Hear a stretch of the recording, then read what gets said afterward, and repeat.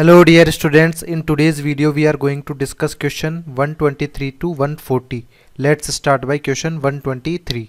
चलिए 123 में क्या पूछा गया? Simplest phenol is also known as तो अपने पास फिनोल का जो स्ट्रक्चर होता है वो क्या होता है? सिंपलेस्ट जो सबसे मिनिमम कार्बन का पॉसिबल हो सकता है ये होता है ये. पी एच ओ एच ठीक है? तो इसे अपन क्या लिख सकते हैं? एक कॉमन नेम के तौर पे हाइड्रोक्सी बेंजीन भी लिख सकते हैं और इसका एक नाम कार्बोलिक एसिड भी होता है. आपके ऑर्गेनिक केमिस्ट्री में दो नाम आते हैं। H two C carbolic acid को अपन क्या बोलते हैं? पी एच ओ एच और एक वर्ड आता है कार्बोनिक एसिड कार्बोनिक एसिड हमारे पास कौन सा होता है? H two C O three तो यहाँ पर आप कंफ्यूज ना हो कार्बोलिक एसिड बोलेंगे फिनॉल को और carbonic H two C O three को। तो दोनों ही नेम यहाँ पर फिनॉल के हैं तो ऑप्शन सी करेक्ट आंसर हो जाएगा। नेक्स्ट है which of the following is enolic form enolic form का क्या मतलब होता है? कि हमारे पास double bond C double bond C पर ओ OH ग्रुप जुड़ा हुआ ये हमारा इनोल फॉर्म होगा। तो कौन सा ऑप्शन होगा यहाँ पर? ऑप्शन बी करेक्ट आंसर हो जाएगा। नेक्स्ट है one twenty five which of the following belongs to phenol कौन सा फिनोल से बिलोंग करता है? तो C six H five O H इसका स्ट्रक्चर देखें। तो ये फिनोल है ही। यहाँ पर सी सिक्स एच फोर ये दिया हुआ है। इसका स्ट्रक्चर आप बनाएँगे। तो ये कैसे हो जाएगा? ओ एच और C S three C S three की पोजिशन कोई सी भी हो सकती है। और ऑर्थोमेटा पैरा इसी तरह से यहाँ पे देखें। तो यहाँ पर भी हमारे पास ओ OH की पोजीशन कुछ भी हो सकती है तो यहाँ पर एक ओ OH यहाँ पर रख देते हैं। और तो बेटा पैरा तो सभी फिनोल डेरिवेटिव्स ही हैं। तो आंसर डी हो जाएगा। नेक्स्ट है कि फिनोल में कार्बन ओ OH बॉन्ड किस नेचर का होगा? तो यहाँ पर हमारे पास, यदि अपन देखें, ये इस तरह से हो रहा है। इसमें सी ओ OH इसका हाइब्रिडाइजेशन क्या है? एस पी टू हाइब्रिडाइजेशन है, और यहाँ पर ऑक्सीजन है। तो carbon S P two hybridize है और ओ OH जुड़ा हुआ है। तो ऑप्शन बी करेक्ट आंसर हो जाएगा। ठीक है? नेक्स्ट हमारे पास 127 इसमें P H M G B R की रिएक्शन करा रहे हैं किसी कंपाउंड के साथ, जिससे बेंजीन का फॉर्मेशन हो रहा है। दैट मीन्स अपने को एसिड बेस रिएक्शन करानी है। तो अपने को एक्स कोई एसिडिक एच कंटेनिंग कंपाउंड चाहिए, जो यहाँ पर एल्कोहल दिया हुआ है। यदि एल्कोहल के साथ में P H M G B R की रिएक्शन होगी तो पी एच माइनस क्या करेगा? एसिड बेस रिएक्शन शो करेगा और ये एच प्लस निकाल ले जाएगा। ठीक है? और हमारे पास क्या प्रोडक्ट बन जाएगा? पी एच एच जिसे आप बेंजीन भी लिख सकते हैं। ठीक है? तो हमारा कौन सा ऑप्शन करेक्ट हो जाएगा? ऑप्शन बी हमारा करेक्ट आंसर हो जाएगा। ठीक है? बाकी ऑप्शन में देखें तो इथर के साथ में कोई रिएक्शन नहीं होगी P H M G B R की और न्यूक्लियोफिलिक एडिशन रिएक्शन शो करेगा इस केस में P H M G B R यहाँ पर अटैक कराए। तो हमारे पास क्या हो जाएगा? ये इस कार्बन पर अटैक होगा पाइबोन इधर चला जाएगा और यहाँ पर ओ OH और पी एच इस तरह से प्रोडक्ट का फॉर्मेशन होगा। ठीक है? आफ्टर हाइड्रोलिसिस क्लियर नेक्स्ट हमारे पास one twenty eight the products is obtained in the reaction assume acidification at the end of reaction तो हमारे पास यहाँ पर देखिए, दो फाइनल ग्रुप दिए हुए हैं, एक सी एस थ्री और टर्सरी अल्कोहल अपने पास बन रहा है। तो अपन one by check one by check करते हैं। तो C S three M G B R का अटैक करेंगे तो यहाँ पर कार्बन पे अटैक होगा। ये पाइबोन इधर चला जाएगा तो बन क्या जाएगा? हमारे पास P H C O minus यहाँ पर पी एच और यहाँ पर सी एस थ्री जिसका एसिडिफिकेशन फर्दर करते हैं आप तो हमारे पास क्या बन जाएगा? P H C P H C S three और ओ OH एच तो ये हमारे पास बन जाएगा। तो ऑप्शन ए से अपने को डिजायर्ड प्रोडक्ट बन सकता है। यहाँ पर भी देखेंगे तो P H M G B R का अटैक होगा। तो हमारे पास यहाँ पर भी इजीली हमारे पास क्या प्रोडक्ट बन सकता है? C S three C O H P H P H तो ये भी सिमिलर है। यहाँ पर P H M G B R की रिएक्शन दो मोल करा रहे हैं किसके? एस्टर के साथ। तो सबसे पहले वाली रिएक्शन में क्या होगा? S N two T H reaction होती है ओ ई टी लीव कर जाएगा और हमारे पास कंपाउंड बन जाएगा C S three C double bond O P H जिस पर अगेन आप P H M G B R की रिएक्शन कराएँगे तो हमें डिज़ायर्ड प्रोडक्ट यही मिल जाएगा जो दिया हुआ है। तो तीनों ही रिएक्शन से अपने को टर्सरी अल्कोहल जो दिया गया है, वो बन सकता है इजीली तो कौन सा ऑप्शन करेक्ट आंसर हो जाएगा? ऑप्शन डी हमारा करेक्ट आंसर हो जाएगा। ठीक है? नेक्स्ट क्वेश्चन है 129 substrate in Dow's process for the manufacture of phenol is तो डाउज प्रोसेस में हमारे पास क्या होता है?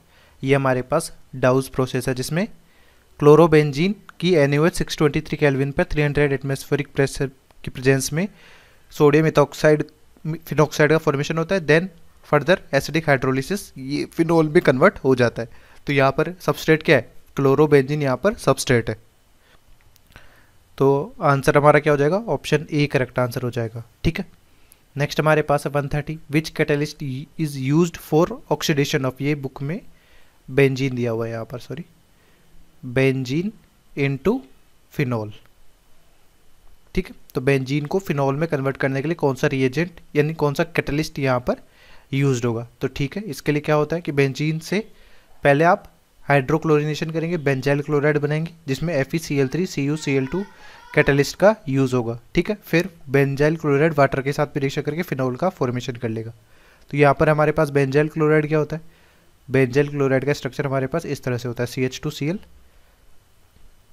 ठीक है? तो यहाँ पर रिएजेंट कौन सा यूज़ हो जाएगा? ऑप्शन बी करेक्ट आंसर हो जाएगा। यहाँ पर C U C L two with M N C L two का भी यूज़ कर सकते हैं for preparation of phenol but ये यूज़ कब होगा? जब अपन टोलुइन एज अ सबस्ट्रेट लेंगे, कि टोलुइन की रिएक्शन आप कराएँगे ऑक्सीडेशन करा रहे हैं in presence of C U C L two plus M N C L two तब हमारे पास फिनोल का फॉर्मेशन होगा।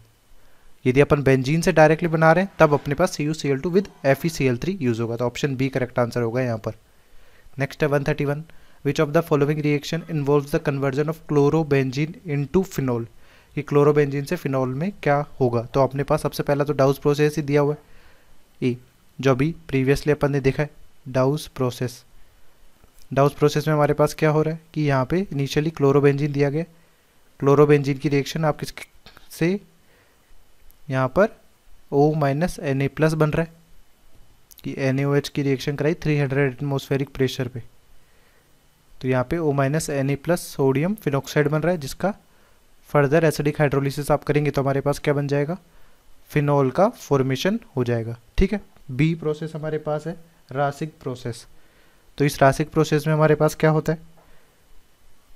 रासिक प्रोसेस इसमें भी हमारे पास फिनॉल की प्रिपरेशन होती है। इसमें क्लोरोबेंजीन की रिएक्शन आप किसके साथ कराते हैं? स्टीम के साथ कराते हैं, यानी एच टू वेपर के साथ कराते हैं reaction in presence of calcium phosphate P O four का होल ट्वाइस और हमें क्या मिल जाता है? फिनॉल का फॉर्मेशन हो जाता है. That means both process are use for preparation of phenol तो आंसर कौन सा हो जाएगा? ऑप्शन सी करेक्ट आंसर हो जाएगा। नेक्स्ट है benzene diazonium chloride may be converted into phenol by action of तो बेंजीन डाइएजोनियम क्लोराइड हमारे पास क्या होता है? P H N two plus C L minus इसको फिनॉल में कन्वर्ट करना है तो आपको क्या यूज़ करना पड़ता है? स्टीम यूज़ करना पड़ता है। स्टीम को आप क्या लिख सकते हैं? एच टू वेपर भी यूज़ लिख सकते हैं। तो यहाँ से हमारे पास क्या प्रोडक्ट मिल जाएगा? फिनॉल का फॉर्मेशन हो जाएगा। यदि इसी बेंजीन डाइजोनियम क्लोराइड की S three P O two के साथ में अपन रिएक्शन कराते हैं तो यहाँ पर हमारे पास बेंजीन का ही फॉर्मेशन होगा। इस तरह से। और N N O two with H C L तो अपने पास किसके बेंजिन डाइजोनियम क्लोराइड के प्रिपरेशन के लिए यूज़ होता है। ये कब यूज़ होता है कि जब अपन इसमें एनिलीन ऐड कर लेते हैं।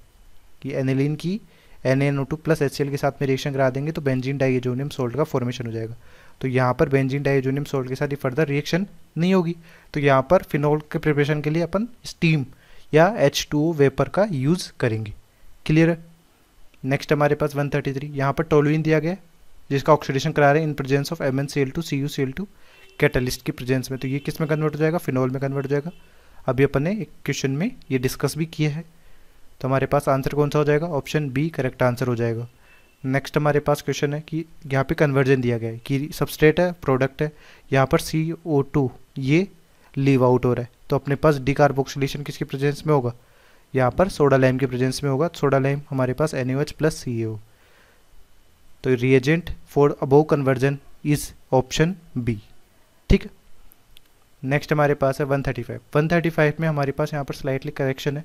ये जो मोलिक्यूल दिया गया है, ये कुछ इस तरह से होना चाहिए कि P H C H C S three इसको अपन क्या बोलते हैं? आइजोप्रोपाइल बेंजीन या क्यूमीन जिसका आप ऑक्सीडेशन कराएँगे तो परोक्साइड बनेगा, फिर उसका फर्दर एसिडिक मीडियम में हाइड्रोलिसिस करने पे फिनॉल प्लस एसीटोन का फॉर्मेशन होगा। इंडस्ट्रियल मेथड है फिनॉल प्रिपरेशन का। तो यहाँ पर देख ली मेथड क्या है कि इसकी रिएक्शन आपने ओ के साथ में कराई, तब हमारे पास क्यूमिन हाइड्रोपरोक्साइड का फॉर्मेशन हो गया।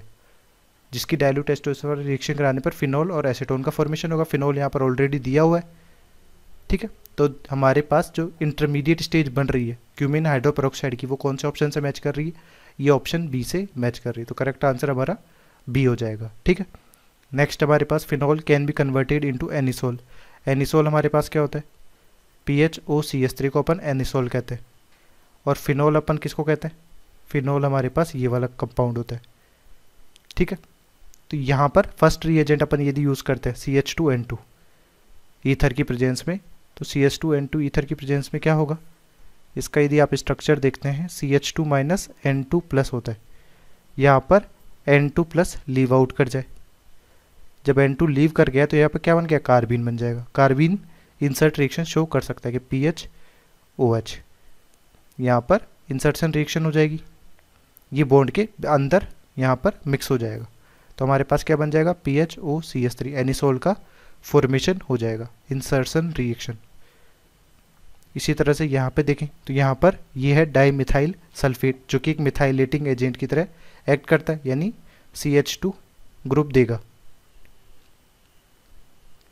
मिथाइलेटिंग एजेंट ठीक है? तो यहाँ पर ये कैसे रिएक्शन हो रही होगी? यहाँ पर हमारे पास P H O H act करेगा, एक न्यूक्लियोफाइल की तरह मिथाइलेटिंग यानी ये C S three O S double bond O double bond O O C S three क्या होगा? ये एज ए न्यूक्लियोफाइल अटैक करेगा बैक साइड से और लीव कौन सा कर जाएगा? ये लीव कर जाएगा। तो हमारे पास क्या बन जाएगा? पी एच ओ एच पे पॉजिटिव सी एच थ्री और लीविंग ग्रुप क्या हो जाएगा? O minus S double bond O double bond O O C S three ठीक है? तो ये ऑक्सीजन में पॉजिटिव चार्ज को हटाने के लिए एच प्लस निकल जाएगा। तो हमारे पास P H O C S three ये बन जाएगा एनिसोल ठीक है? यहाँ पर ये अच्छा लिविंग ग्रुप है क्योंकि यहाँ पर एनाइन की स्टेबिलिटी इक्वल रेजोनेटिव स्ट्रक्चर की वजह से ज़्यादा है। ठीक है? इसी तरह से नेक्स्ट अपन देखते हैं कि यहाँ पे सी एस थ्री आई के केस में भी सेम ही होगा कि फिनोल की रिएक्शन आप किसके साथ करा दे? सी एस थ्री आई के साथ करा दे। तो हमारे पास ये भी न्यूक्लियोफाइल की तरह एक्ट करेगा। Simple S N two type का अटैक हो रहा है और हमारे पास क्या बन जाएगा? P H O C S three का फॉर्मेशन हो जाएगा। दैट मीन्स हमें तीनों ही ऑप्शन ए बी सी से एनिसोल का फॉर्मेशन हो जाएगा। तो ऑप्शन डी हमारा यहाँ पर करेक्ट आंसर हो जाएगा। नेक्स्ट है one thirty seven what is the major product of following reaction यहाँ पे B R two with F E B R three से क्या होगा? बी आर प्लस इलेक्ट्रोफाइल का फॉर्मेशन होगा। बी आर प्लस इलेक्ट्रोफाइल का फॉर्मेशन हो रहा है और यहाँ पर ओ OH क्या है? प्लस एम ग्रुप है। इलेक्ट्रॉन रिलीजिंग ग्रुप है। और यहाँ पे C S three plus I और प्लस हाइपर कॉन्जुगेशन ग्रुप है। तो हमारे पास ओ OH क्या हो जाएगा? ऑर्थोपैरा डायरेक्टिंग हो जाएगा। ऑर्थोपैरा डायरेक्टिंग तो कमिंग इलेक्ट्रोफाइल का जो अटैक होगा, वो किस बेसिस पे होगा? स्ट्रॉन्ग ईआरजी के बेसिस पे। ये ऑर्थोपैरा डायरेक्टर है। तो फाइनली हमारे पास क्या प्रोडक्ट बनेगा? पैरा पोजिशन ऑलरेडी ब्लॉक्ड है ओ OH की तो ऑर्थो पोजिशन पे हमारे पास बी आर आ जाएगा। ठीक है? तो कौन सा ऑप्शन करेक्ट आंसर हो जाएगा? यहाँ पर ऑप्शन ई करेक्ट आंसर हो जाएगा। ठीक है? नेक्स्ट है one thirty eight phenolphthalein is obtained by condensation between phenolphthalein का प्रिपरेशन कैसे करते हैं? तो हमारे पास थैलिक एनहाइड्राइड और फिनोल की रिएक्शन कराएँगे, तब अपने को फिनोफ्थेलिन बनता है। तो यहाँ पर कौन सा ऑप्शन करेक्ट हो जाएगा? ऑप्शन बी करेक्ट आंसर हो जाएगा।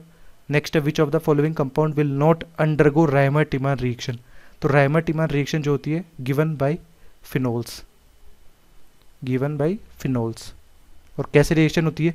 हमारे पास कि इनिशियली फिनोल की रिएक्शन क्लोरोफॉर्म प्लस के के साथ या एन के साथ रिएक्शन कराते हैं। तो यहाँ पर ऑर्थोपोचन पे सी ग्रुप आकर जुड़ जाता है। यहाँ पर इंटरमीडिएट क्या बनता है? कार्बिन का इंटरमीडिएट बनता है।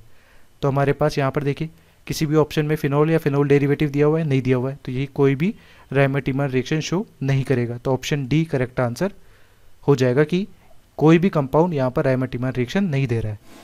नेक्स्ट है one forty K value of phenol is more than that of ethanol तो हमारे पास फिनोल की के वैल्यू ज़्यादा है। किससे? इथेनॉल से। C H three C H two O H से। ऐसा क्या मतलब है कि हमारे पास के वैल्यू ज़्यादा है? दैट मीन्स इसके एसिडिक स्ट्रेंथ ज़्यादा है। एसिडिक स्ट्रेंथ ज़्यादा होने का क्या मतलब है कि एच प्लस जैसे ही लीव कर जाएगा तो हमारे पास क्या बन जाएगा? फिनोक्साइड बन जाएगा। यहाँ पर फिनोक्साइड है और यहाँ पर हमारे पास C H three C H two O minus है। ठीक है? अब फिनोक्साइड में हमारे पास क्या होगा कि ये नेगेटिव चार्ज रेजोनेंस स्टेबलाइज हो रहा है। रेजोनेंस स्टेबलाइज्ड इस रेजोनेंस स्टेबिलिटी की वजह से यदि एनाइन स्टेबल होगा तो अपने पास कॉरस्पॉन्डिंग एसिड भी ज़्यादा एसिडिक होगा। तो हमारे पास ऑप्शन कौन सा करेक्ट हो जाएगा? Phenoxide is more stable than ethoxide ion due to resonance तो ऑप्शन बी करेक्ट आंसर होगा। ठीक है? Thanks for watching hopefully this video solution series help you out to clear your doubts give this video a thumbs up if it is useful for you if you are new to this channel make sure to click the subscribe button and bell notification icon so you don't miss latest videos from our video solution series and education related stuff from GM Academy.